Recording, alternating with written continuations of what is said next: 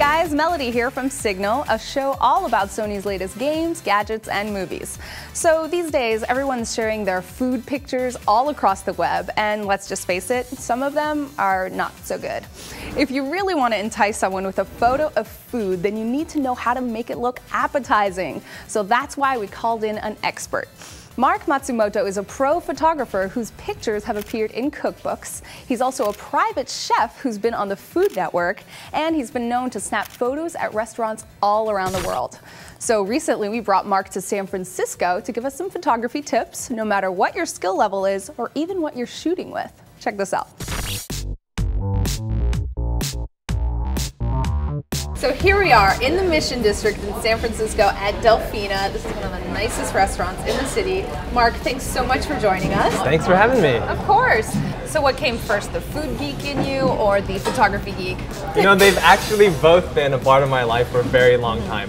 I started helping my mom in the kitchen when I was about four or five, and I got my first camera around then too. When I'm taking pictures of food, one of the most important things is that you've got good light. That's and right. so I like using really bright lenses like a 51.4, or I also use a 24 to 70 2.8. You've got your own blog about recipes and food and even photography, and it's gorgeous. I love the pictures on there. So I started the blog about four years ago, and it was because I'd have friends over for dinner, and they'd ask me for a recipe, and I'd say, sorry man, I don't have any recipes, because I, I cook improvisationally. It's been really interesting because the blog has turned into a bit of a portfolio for me, and I've gotten a lot of food brands that have reached out to me to take photos of their products um, and I'm currently working on some cookbooks that are going to be published later this year. One of the great things is with these new point and shoots that are coming out, they're taking amazing photos. And so taking a beautiful photo of a, a piece of food is, is within the reach of anybody. All right, well, let's get started and let's do it now. Let's do it.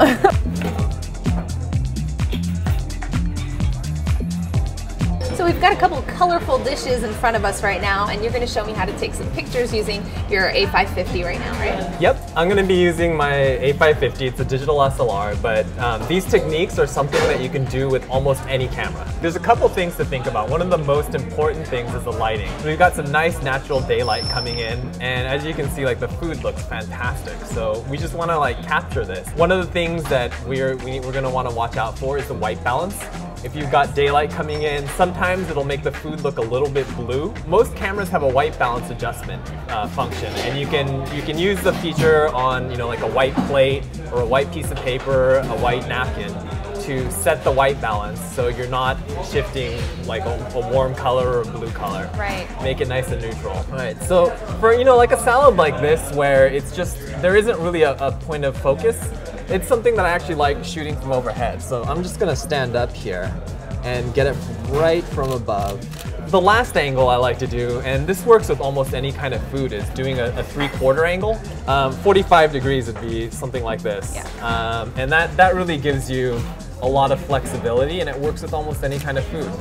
Um, the thing you want to make sure though is when you're composing the photo that you, you do it in an interesting way. If you just have the whole plate centered perfectly around the edges, it's going to look a little bit boring. So you know, one of the things I like to do is hold the angle, the camera at a slight angle. And so what that does is it, it adds a little bit of drama to the shot.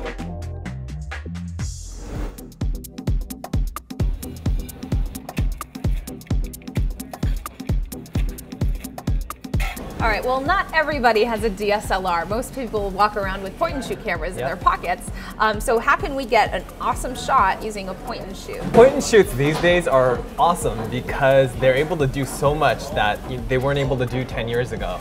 Um, so you get a lot of the same cool functionality that you get in a digital SLR in a much smaller package. Yeah. So one of the things about point and shoots is that they usually have a macro mode. So when you're getting really close to your food and you want to just get in there and you know see that arugula, mm -hmm. you're going to want to set it to macro mode so you can get a nice close up. So I love the WX9 because it actually has a food mode on it, and you set it to that, and it really makes the colors pop. It bumps up the contrast, and it, and it makes the the food look amazing. If I can get such a great picture out of this, um, kind of what are the drawbacks to having a point and shoot versus having a DSLR for food photography? One of the drawbacks is that you've got a much smaller lens on a point and shoot, so it's letting a lot less light in. Okay. And in restaurants, it can be challenging because you know today we're lucky with the nice light we have here, but sometimes you're not going to have as much light. Right. And uh, I think for a lot of people, they're tempted to use a flash, but that's the best way to ruin a photo. Yeah. And not to mention you're going to disturb your neighbors in a, in a restaurant. That's true. Even if you're, if you're in a really dark place, uh, if you can hold your camera still, you can actually still take great photos without a flash. One of the things I like to do is just use what I have on hand. You know, if there's a water glass sitting around, you can set the camera right on the water glass, Yeah. hold it nice and steady, and so you're able to get a great photo.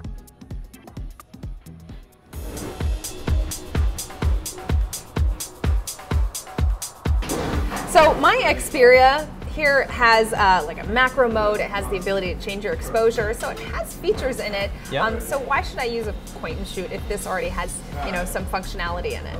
Well, cell phones these days have really great cameras in them, but uh, you're still not going to get the same quality photo. And so, if you're serious about food photography, you're going to want to at least carry around a point and shoot. One of the things is obviously the bigger the camera, the bigger the sensor, and the bigger the lens. And so, you're going to be letting more light into the camera.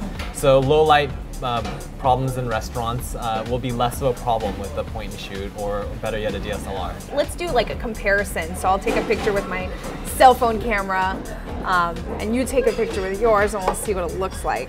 Okay. Smile cake. I, I broke the rule. I centered it too much. But it still looks pretty good. Oh, but yours looks a lot better. Yeah, it's got a lot more light. It's Yeah. brighter.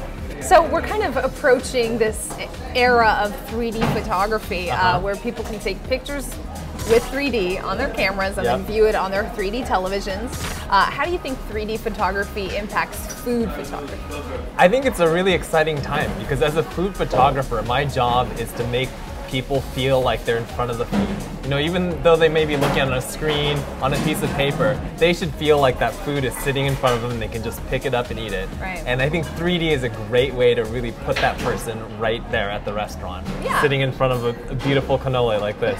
Um, so let's take one more shot of our cannoli and then let's dig in. Sounds good. I'm starving. Well, there you have it. I hope Marc's tips come in handy for you next time you're at your favorite restaurant. Now, if you're interested in checking out any of the gear he used, whether it's the Sony a550, the Cybershot WX9, or even the Xperia X10 phone, just go to sonystyle.com. And if you want to keep up with everything Sony's been up to lately, be sure to check out my full show every other week at sony.com slash signal, where you can also find our cool new free Android app. Or watch us on youtube.com slash signal, where you can leave us a comment or a question. For now, this is Melody saying thanks for watching.